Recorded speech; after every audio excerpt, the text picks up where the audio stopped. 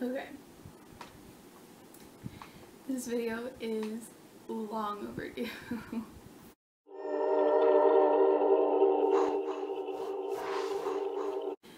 so I'm going to talk to you about um, my spinal fusion, um, my spinal fusion um, surgery and kind of my experiences and recovering and what happened afterwards. Because girl it's been a journey. Um, and hopefully this will help someone who is going to go through that. Um, and I think just kind of talking about it will help me.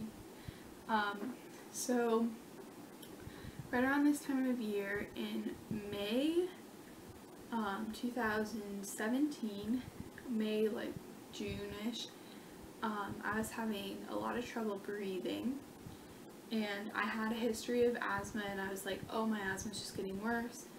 Um, and for those of you who don't know, I'm a synchronized swimmer, so that was like kind of concerning, like I should get that checked up on if I'm having bad asthma. So my mom took me to a pulmonologist and um, if, if you don't know what a pulmonologist is, it's basically a doctor who covers all of the respiratory system um, and deals a lot with asthma.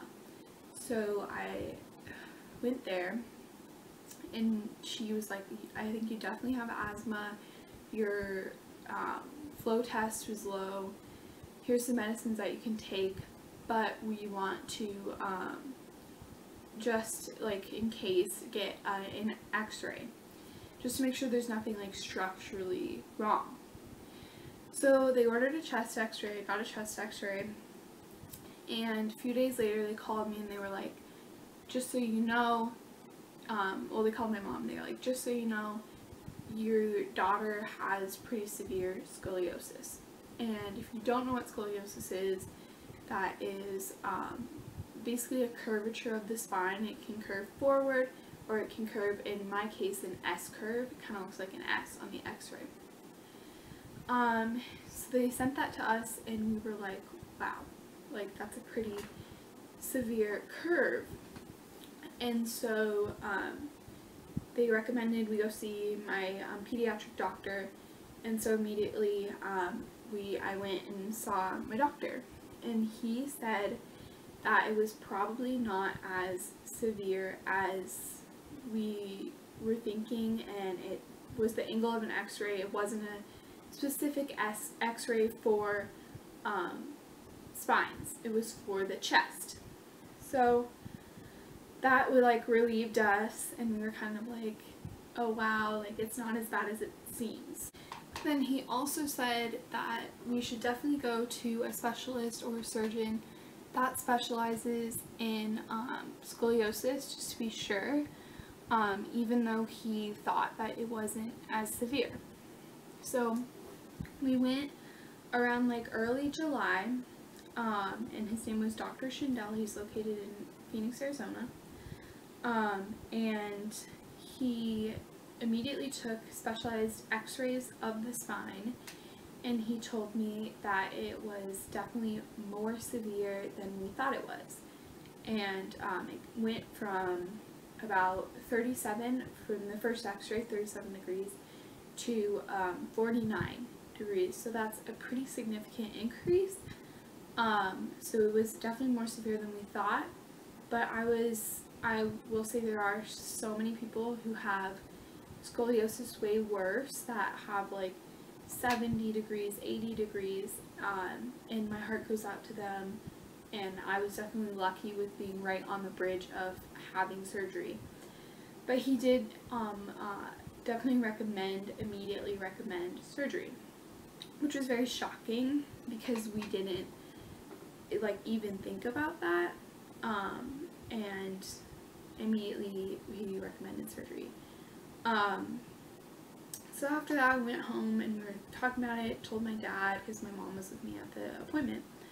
And my dad was like, you need to do it right away. Like, you need to get your surgery done right away. It was like mid-July-ish, early July. And I had a vacation planned, like going to the beach, which I always go to the beach with these amazing people. And um, and I was like, no, like I have this planned and I kind of don't want to miss the start of the school year um, because I was going into 8th grade. And I was like, I don't want to miss the start of that. I want to meet my teachers, get my schoolwork um, all sorted out and everything before I have surgery. So eventually, um, after the initial shock and like being like, we need to have surgery right now, um, we decided on mid-September. So my surgery date was decided on September 14th of 2017. So a few weeks after that, um, probably like early August, I think it was definitely like near the school year, I had a hospital tour, which is awesome. I definitely recommend it if you are going to have surgery or to have spinal fusion. Go see what it's about. Um, they show you the rooms that you're going to stay in, the rooms that you're going to um, get kind of uh, started in, um, the IV. Now that I have, um, been two years since surgery, um, I actually give tours at um, Phoenix Children's Hospital, which is where I got it done. Um, and that's an amazing program. I definitely, definitely recommend that if you are going to have spinal fusion surgery. Um, it really just makes you feel a lot more prepared. So I got that done. And then basically after that, I focused on school a lot. If you know me, I um, focus on school way too much. Um, but I really wanted to meet my teachers, to meet everyone, and to be solid when I leave, when I left for surgery. Um, so I met all of them, I created a plan, and then tried to get projects done really fast that I knew were going to be due after surgery, which I, so doing that, I like never kind of thought about surgery and like what, what it was going to be like, and I never took a second to think about it.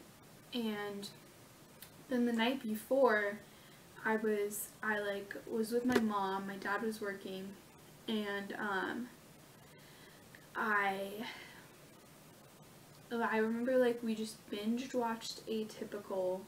Which is a really good show if you haven't seen it.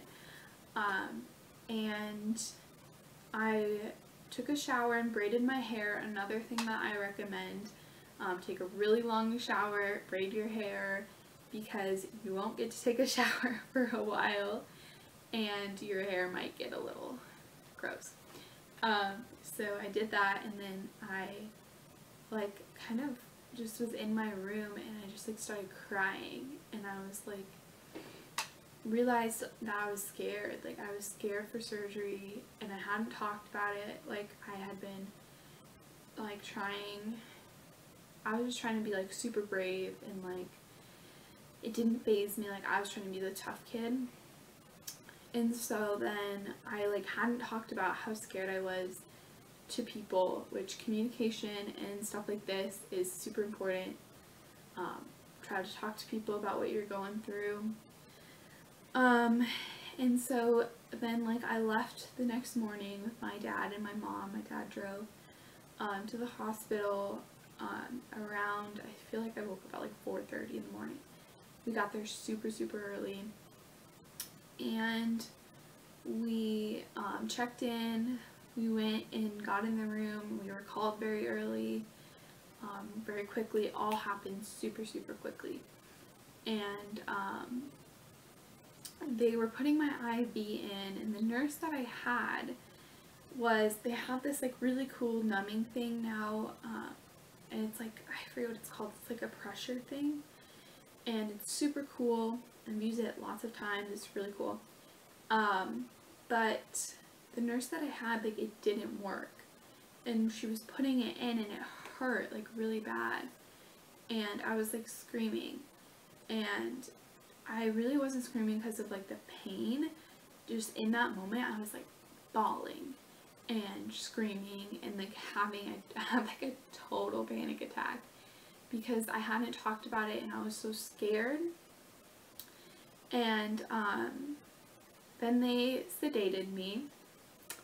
Um, and so I don't remember the first, um, the 30 minutes like before surgery.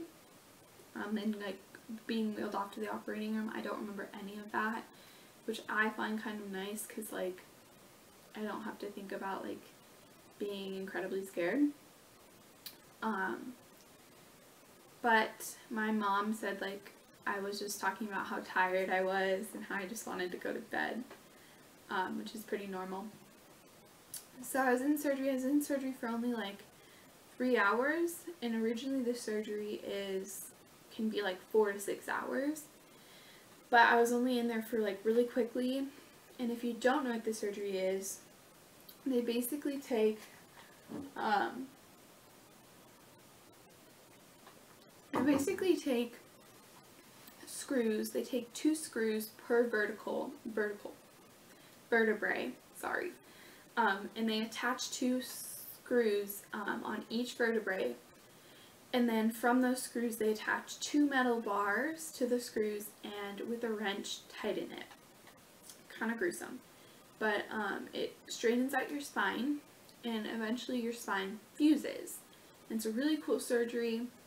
I'll link my Instagram below. On my Instagram I have a highlight called um, Scoliosis Month from last June because it is Scoliosis Awareness Month. Um, and in it I kind of have like a video and um, like an animation that shows what it is. So if you're interested in seeing that, you can also find it on YouTube. It's pretty cool. Um, but so, went into surgery. It only took three hours. My parents came and I don't really remember. It was actually the day that Selena Gomez had surgery as well had, I think she had like a liver transplant, I don't know, um, and that was like the day, and my mom said like, she told me that right after I got out of surgery, I don't remember that. So then my aunt came to visit me right after surgery, and that's the other thing, I had lots and lots of visitors, and if you came to visit me, I love you, um, thank you, you made the recovery so much easier. Um, I remember my mom telling me that the nurses said that like my hospital room was like a revolving door and I am so lucky that I had the support that I do because a lot of people don't have that and um, I hope by making this video I can help support people who don't have that. Um, you're not alone. Um, but I had a lot of support and thank you. Um, So then um, the recovery, I immediately was, I was put in my hospital room and the hardest part, I always say the hardest part of surgery is the fact that I did not drink water for like 36 hours. And I was told that I could not drink water by my surgeon um, and because it would make me sick and eventually I did end up getting sick. Um, but I was just like really thirsty. And I did have like I did have liquid coming from my IV but I didn't like drink water. It's like different. Um but it basically felt like I was a human Barbie doll and it was just uncomfortable through it was it was painful but the biggest part was just like it was uncomfortable. Um, you couldn't really move your back move your spine twist. Um, it was just like perfectly straight and you're really really have a really really good posture because you can't slouch and you can't move your spine right after because your spine hasn't fused yet. I walked I want to say the day of and if not the day of the day after because they try to get you up and walking as soon as possible.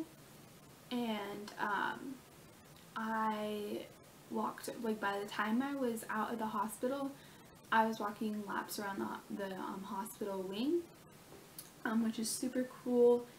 Like 30 years ago you would be like on a board for six months but nowadays you're walking like literally the next day. It's insane. It's really cool my recovery was really fast and a lot easier than some people's, which I feel very lucky for. Um, I think part of that was because I am very athletic, I was very athletic, um, and that helped a lot. Um, so there, it was hard. I had a catheter in, and eventually I like was forced to go to the bathroom. I was forced to get up, go sit in a chair, and basically every time I got up, this is kind of TMI, but basically every time I got up, I would um, vomit, which is like if you can't even imagine like not being able to curve your spine and vomit at the same time. Like it's like, but um, that was like kind of the worst part. But I had a lot of visitors, but I was just like sleeping a lot of the time. It was very dark in my room, so now when I look back on surgery, it's a very dark memory. And I think that if we had opened a window or turned on more lights, it would I would have it would have been better. So that's something if you're going to have surgery. They tell you that you're very sensitive to light after surgery, which is true from the anesthesia, but um, I think I would have been able to handle the light. Um, what things did I do? I didn't really do much. Like, honestly, I was just, like, sleeping, and then, like, I had a visitor, and then I would sleep, and then someone would come and visit me. So, yeah, and my friends would come. They, my friends, like, um, I had a walker for two weeks afterwards, and they decorated my walker, um, which is pretty cool. Love you guys. Um, and that was awesome. And then five days later, I left the hospital and went home. And here's where it got harder. um, it, I was just more uncomfortable at home um, because it was harder for my parents to know exactly what to do. Um, but they tried their best and um, I wanted to stop taking opioids as soon as possible. I was taking oxycodone, um, which can be a very dangerous and addictive drug.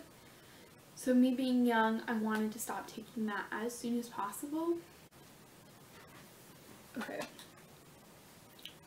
So about three days into being home, um, I stopped taking the oxycodone um, and also one of the main reasons is because you can get very constipated on um, oxy um, which I could already feel happening like I had not pooped for like a week um, and so I got off of it and was taking like Advil and like kind of less like over the counter stuff um, and then I was basically just watching movies, doing everything that I could. Um, into my, a little further into my recovery at home, my parents would come and take me out to lunch and kind of force me to go out to lunch. The main thing at that point is that you're just really tired and you get really worn out very easily, very quickly.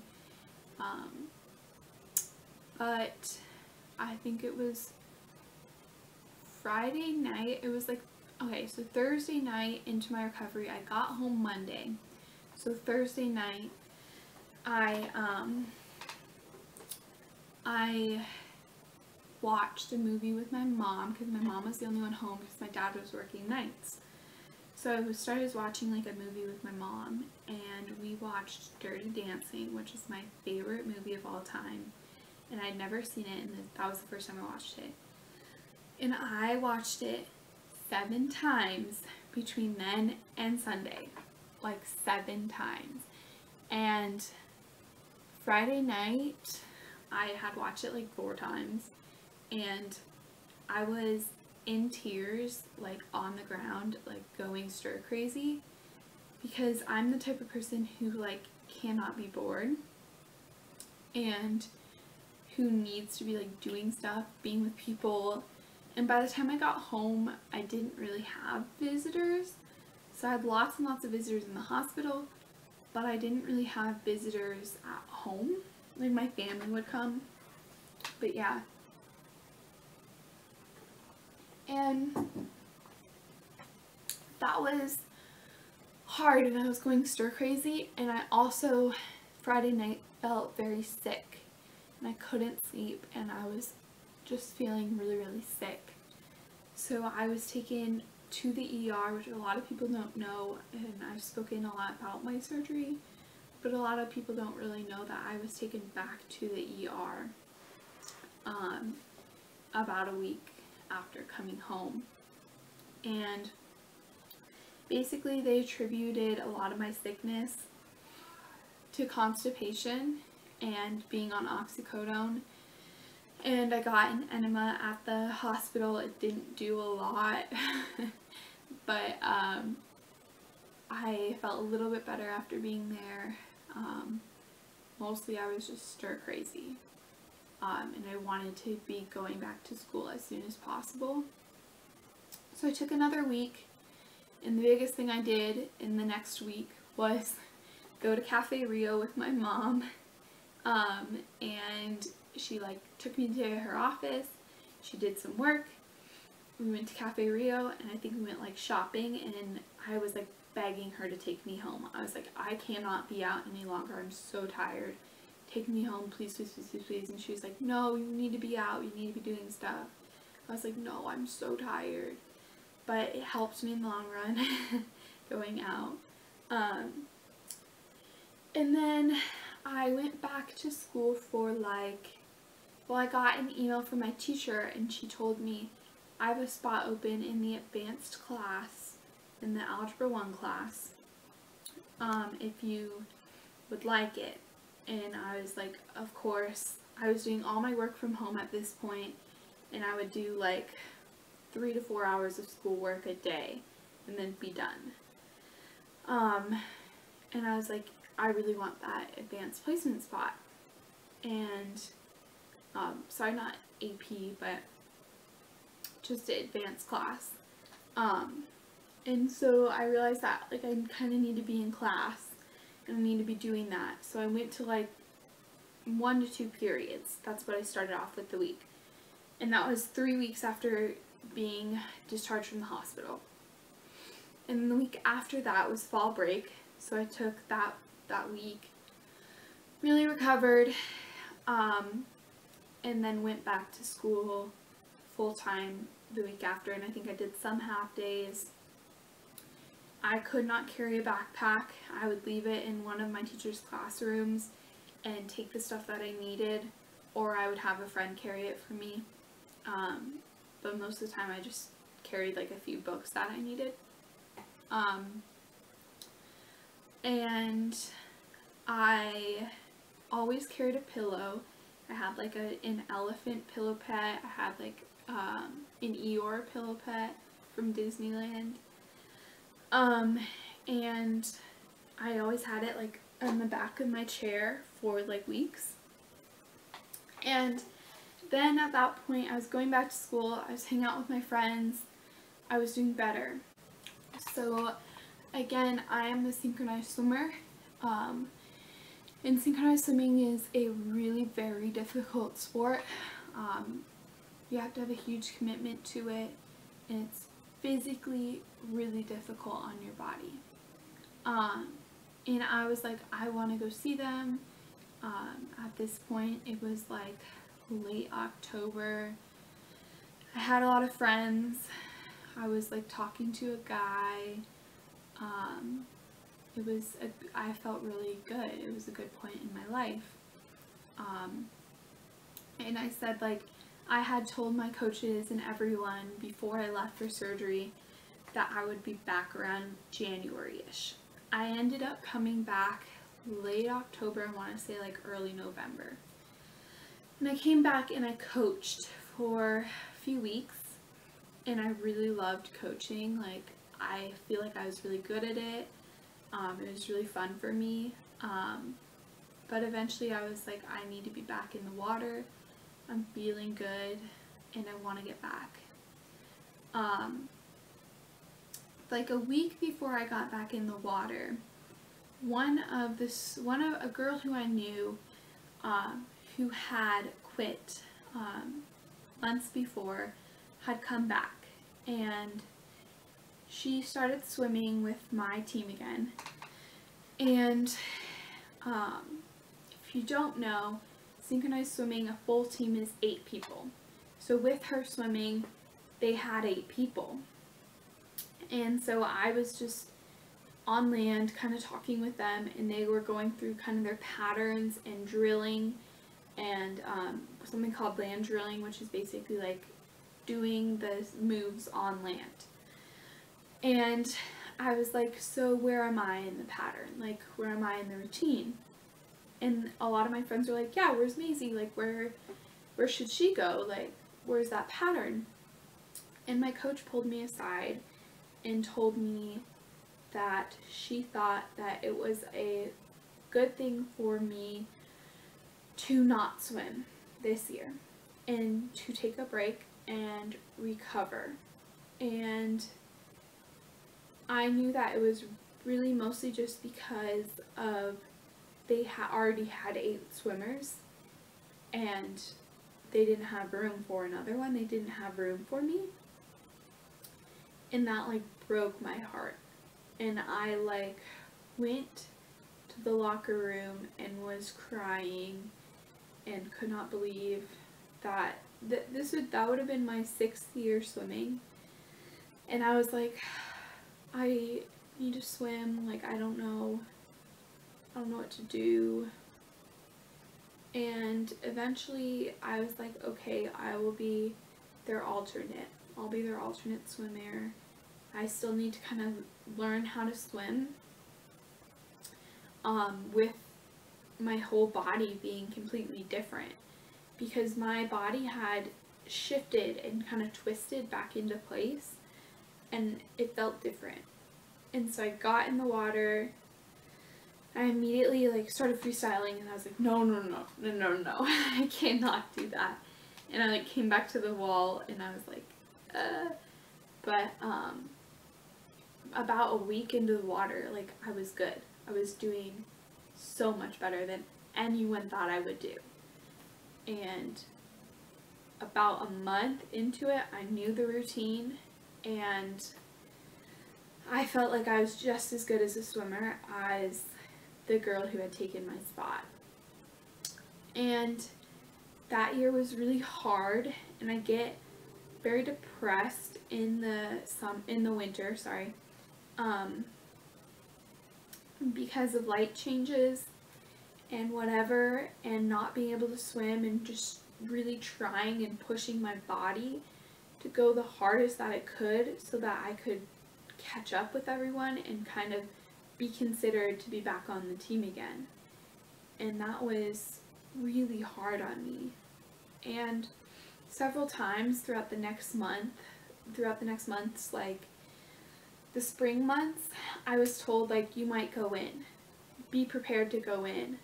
Um, and um, long story short, summer came along and the girl who had took my spot ended up quitting the team again and not going to Oxford, Ohio, which is where we had our big nationals junior Olympics. And I ended up going with them for our whole combo thing and I was really grateful to be able to do that and to be able to kind of be with the team again. And that's where it kind of my mental health got worse around the time of um, like early June and May, which is when I first figured out that I had scoliosis. But so that is kind of my full like one year journey of scoliosis and spinal fusion and it's really hard for me to look back Um, so in wrapping up this video, I'd like to say that actually two years before I was diagnosed with scoliosis, I was told that I may have a curvature in my spine. And I was never checked up on it. Um, nothing was ever done about it. And this whole this whole story could have been avoided if um, people were more aware of scoliosis and its issues and how fast it can increase. Um, so yeah. Um, but if you are going to have surgery, if you have had surgery, um, specifically spinal fusion surgery, um, I wish you all the luck um, in the world. Know that there are so many people that stand by you, that are with you. Um, my heart goes out to you. I'm here. You can comment, um, DM me on Instagram. Um, if you have scoliosis, if you wear a back brace, um, my heart goes out to you too. If you don't wear a back brace and you still have scoliosis, I'm here for you. Um, DM me, comment me, tell me um, your story um, and how you got through it. Uh, and look out for two more videos that I kind of want to do about medical PTSD um, and kind of how my mental health deteriorated a year after surgery because that is not discussed and that is super big part of my life um, living with medical PTSD um, and also kind of the different health problems that I have going on now because if you know me I have a multitude of other health problems that I've been dealing with and kind of what the future needs for me. And um, and thank you so much for listening to this and just thank you, thank you, thank you. I love you. Like it, like my video if you like the video. Um, and look out for those those two new videos.